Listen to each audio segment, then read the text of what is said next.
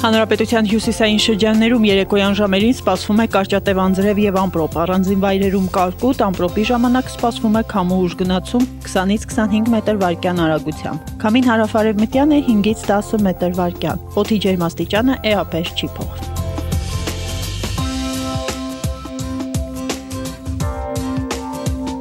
Շիրակում գիշերը 8, ցերեկը 23 աստիճան տաքություն, Երևանում գիշերը 16, ցերեկը 31 աստիճան տաքություն։